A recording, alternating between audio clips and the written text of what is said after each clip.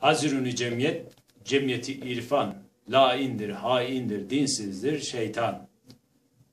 Şeytanın hainliğine, dinsizliğine, Rahman'ın birliğine eyvallah. İsim isime, cisim cisime, sem semte benzer derler.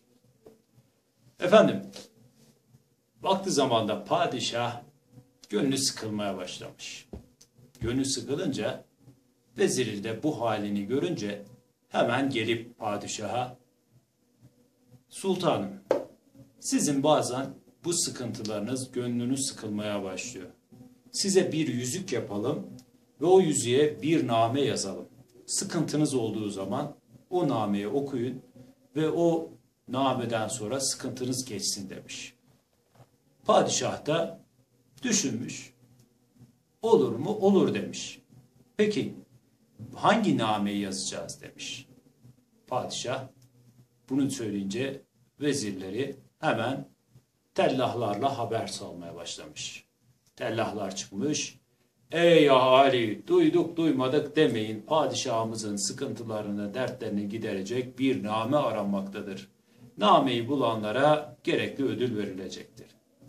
Nameler bir bir padişaha gelmiş ve namelere bakmışlar. Namelere baktıktan sonra fark etmişler ki hiçbiri padişahın gönlünü mutmain edecek, rahatlatacak bir name bulunmamış. Bunun üzerine bir derviş gelmiş ve geldikten sonra efendim demiş.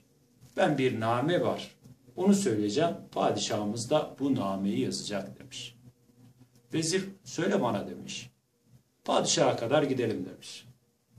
Padişaha kadar gitmişler. Padişah Şah söyle nameni demiş. Derviş efendim demiş. Bu da geçer yahu demiş. E padişah demiş ki yani ne olacak ki yani bu da geçer yahu.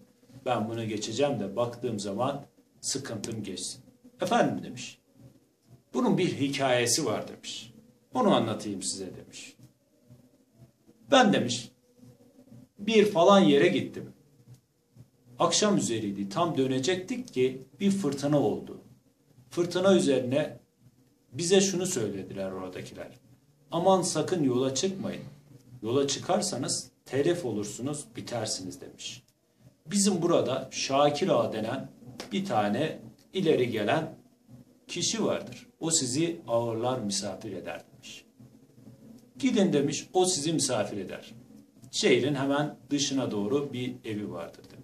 Biz de gittik, kapıyı çaldık, işte durumu anlattık. Şakir Ağa bizi aldı. Çok da hoş sohbet bir muhabbeti vardı. Bizi misafir etti.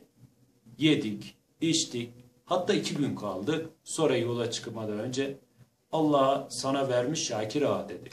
Ne güzel, valın, vak, halin vaktin yerinde dedik. Tam çıkacağız, Şakir Ağa'ma omzuma dokundu. Bu da geçer yahu dedi. Yolumuza gittik. Bir iki yıl sonra yine aynı beldeye yolumuz düştü. Düştüğü için buraya geldik. Hadi bir de Şakir Ağa'nın evinde yiyip içmiştik. Bir ziyaretini yapalım dedik. Gittik kapılarını çaldık. Kapıyı açtıklarında Şakir Ağa'yı sorduk dedik. Şakir Ağa'nın işleri terse gitmişti ve bütün malını kaybetmiş. Şöyle söyler, şu karşı tepede bir kulübe var. O kulübede yaşıyor dedik. Biz de gittik o kulübeye kapıyı çaldı. Şakir Ağa açtı. Şakir Ağa aynı Şakir Ağa. Malı gitmiş ama muhabbeti her şey aynı.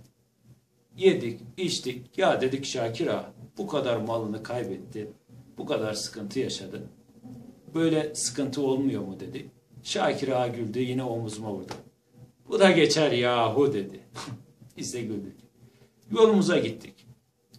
Yıllar geçti birkaç yıl sonra yine yolumuz aynı beldeye düştü. Aynı beldeye düştü. Bu sefer yine tepeye gidelim de Şakir Ağa'nın kulübesinde biz ziyaret edelim dedik. Gittik.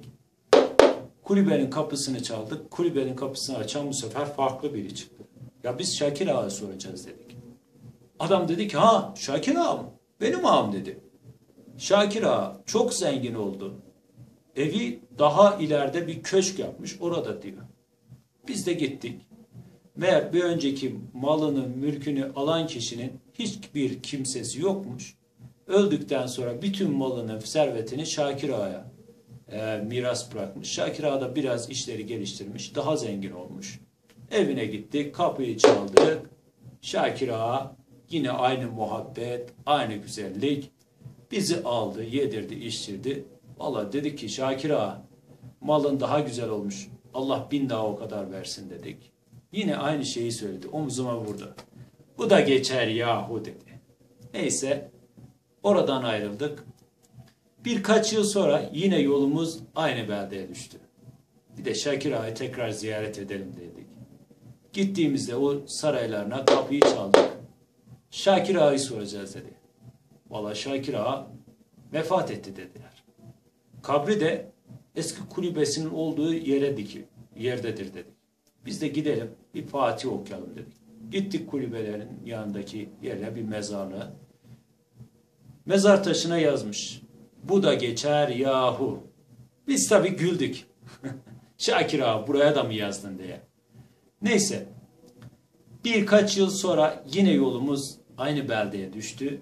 Ve dedik ki gidelim yine Şakir ağanın kabrine bir mez bir Fatih okuyalım dedik. Gittiğimizde bir de bakalım ki ne olmuş. O tepe bir fırtına olmuş. O tepe yerle yeksan olmuş. Hiçbir şey kalmamış. O gün anladık ki bu da geçer yahu. Kalı, sadece kalan baki hu dedi. Padişah bunun üzerine bu nameyi yazdı. Bu nameyi yazdıktan sonra ve o dervişe büyük bir ödül de verdi. Yıl geçince bu hikaye kulaktan kulağa aktarıldı. Ve Birinci Dünya Savaşı'ndan sonra İstanbul'u işgal eden İngilizler bunun üzerine Hattat Efendi'nin çok zoruna gider. Bu hikayeyi bilen Hattat Efendi bir gün oturur, kalemini alır eline, başlar yazmaya. Yazar yazar ve yazdığını vitrine asar. Gelen geçen okumaya başlar. Bu da geçer yahu diye ondan sonra İstanbul'daki bütün esraf eşratı aynı o bu da geçer yahuyu bütün vitrinlerine asarlar. Ve ondan sonra tabi İngiliz işgali sonlanır. Evet, bu da geçer yahu, kalan baki hu. Her ne sıkıntı olursa o da geçer yahu.